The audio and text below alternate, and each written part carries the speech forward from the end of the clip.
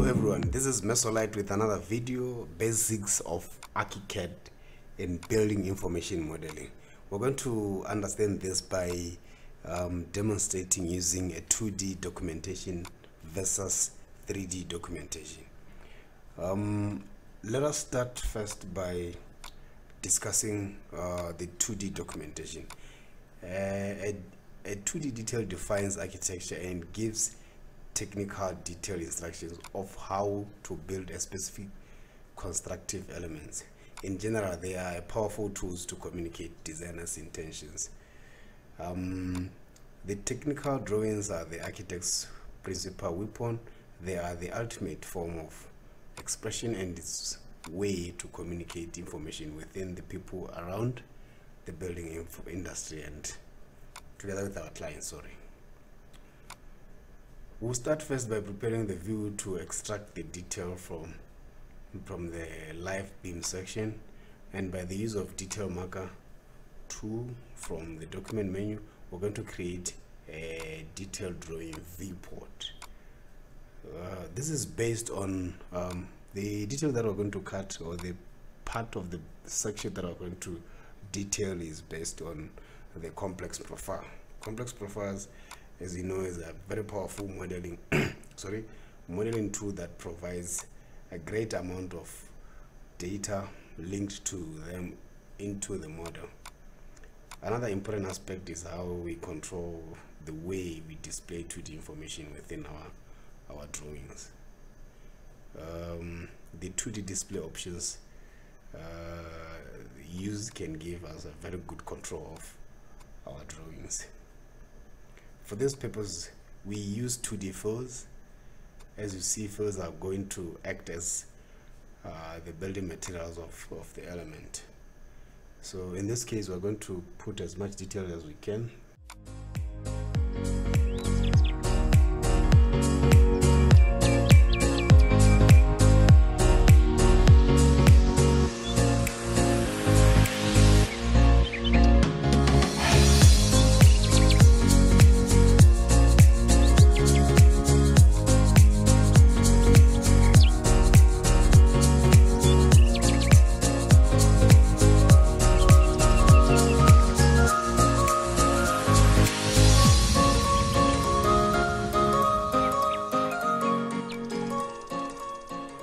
spend your time and use 2D fills to to add more details to your to your profile. More so to be the foundation of your independent 2D um, information. So it's best you really make it work. Mm, the graphic options is also important. The representation of the materials also key to your your visualization of your information in your live section and the the independent detail. So just really spend the time put more detail. This is the wall plate um, to distribute the load from the the trusses evenly to the top of the um, beam, concrete beam.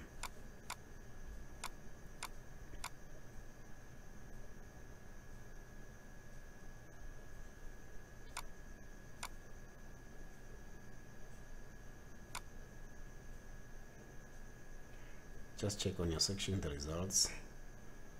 Um, it looks it looks good everything check around all the corners or the points where the the detail has been applied. Uh, as far as I'm concerned everything looks perfect. So we're going to open our our viewport by so doing we're going to create an independent detail drawing viewport with the model source from the beam live section.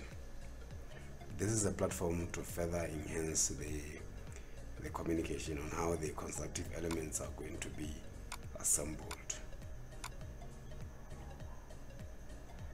um, we're going to achieve this by using 2D tools e.g. like lines, fills, dimensions, text, label for annotations to indicate instructions on the construction construction of elements sorry the independent detail will convert all the 3d elements into 2d lines and fills and fills and some will be needless so make sure you clean up all unnecessary information on the drawing to achieve a greater level of accuracy.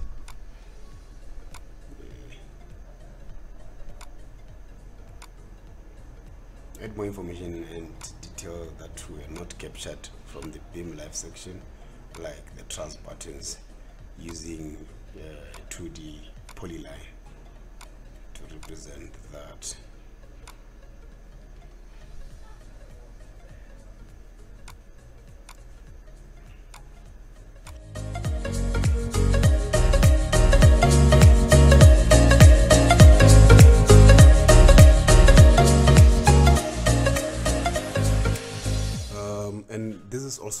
a, a platform where you can work on the quality and the aesthetic of the communication of the communication of the drawing. It has to be graphically appealing to be honest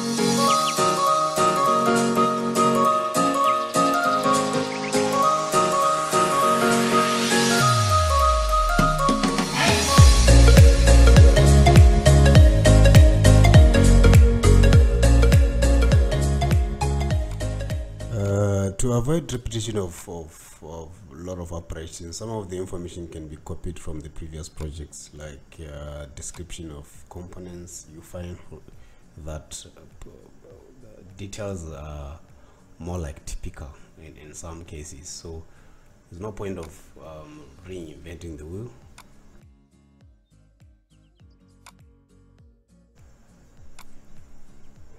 Once you've set the the label too make sure you save it as an as, as a favorite so that you can reuse it in future project.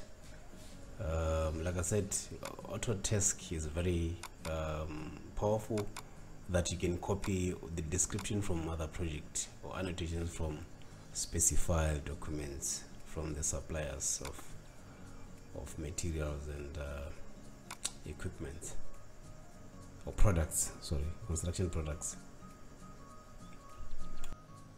and uh, this is the results when it's done. So with annotations and everything.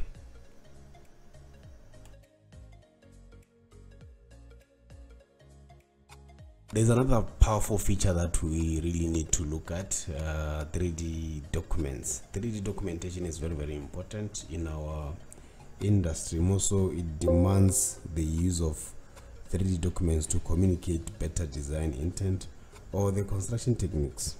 So technologies nowadays are pushing boundaries of design and construction.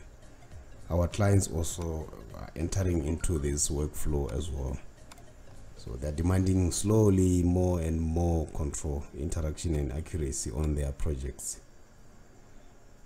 So uh, it is a powerful feature that we are going to visualize our information in, in a manner where everyone can really appreciate and understand. Um, the instructions and everything about the project. Unlike in traditional methods where things were really represented or, or visualized in, in an information or technical information that majority of the people in the building industry were uh, unable to really uh, consume or understand everything even the contractor included.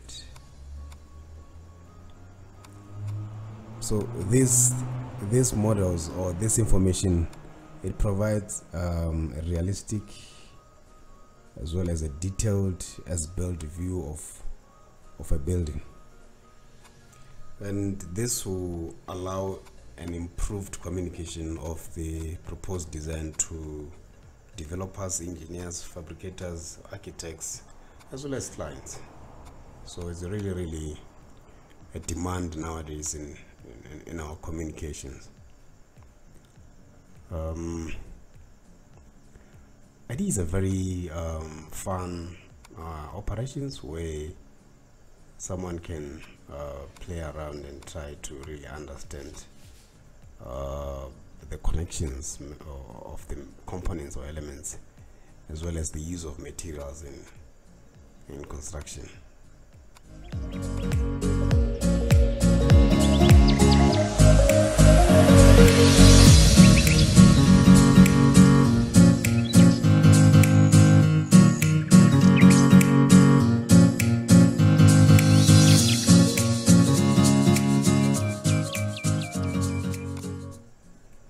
this platform also allows us to annotate and dimension uh, mm, our drawing. So to speed up the process normally we we also use the information from the 2d detail. We copy and paste some information here. And uh, 2d tools are also accessible from this view to really enhance further the, the communication.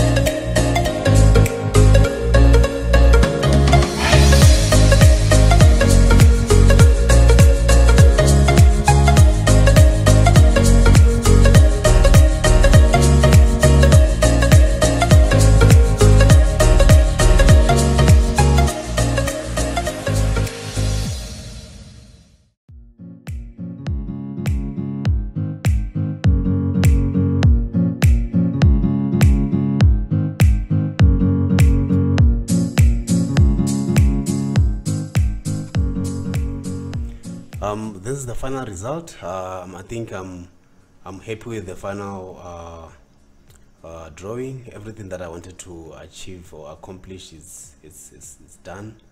Um, the drawing looks intact. The quality is it's acceptable. Um, it's a basically a variation of the 2d and the 3d um, you guys if you have any methods how you can generate uh, extract 2d information and 3d information from your your beam live sections. You can really share with us uh, comment below and uh, please don't forget to subscribe to our channel for this type of content. Um, thank you guys once again. I'll see you next video